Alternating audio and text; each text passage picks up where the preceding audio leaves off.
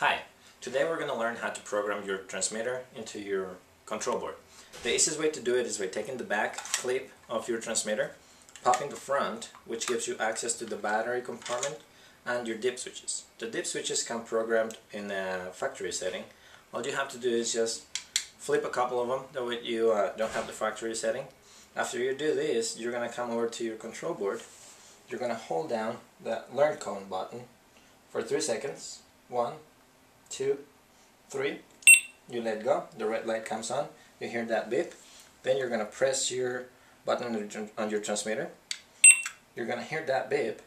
Now to be able to tell if the transmitter was activated, you want to turn dip switch number 2 on in the first block and then you're going to push your button and you should hear that alarm. That tells you that it's activated.